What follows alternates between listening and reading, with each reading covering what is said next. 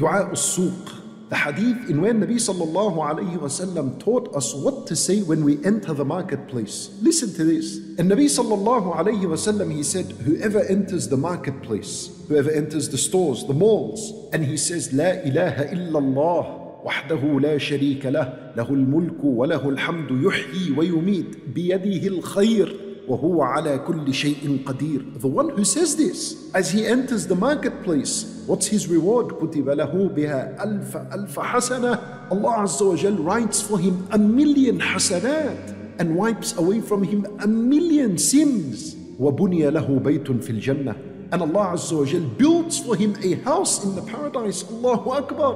What is this reward? You know why the reward was so huge? Because when you enter a marketplace, the marketplace is not a place of dhikrullah. It's not a place in where people gather and remember Allah. Rather, the marketplace is the most hated place to Allah subhanahu wa ta'ala. As in the authentic hadith found in Sahih Muslim. What it means is that not the land is hated to Allah, but what happens in the marketplace is hated to Allah Azza wa.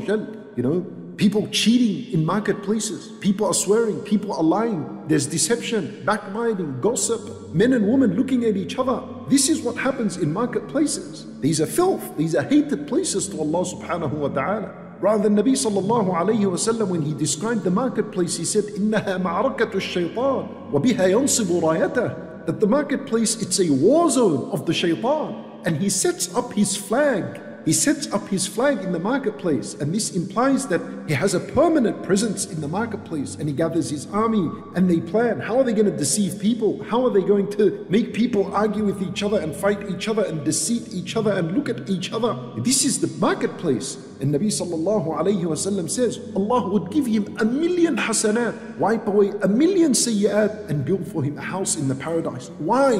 Because he made dhikr of Allah in a place where dhikrullah is abandoned, it's neglected. He made dhikr of Allah Azza wa in a time and place where dhikrullah is unheard of. Rather, a shaitan is there, Allahu Akbar. So now you understand why he had such a high reward that when you worship Allah in times where people neglect the worship of Allah, then your reward is huge. It's great with Allah subhanahu wa ta'ala.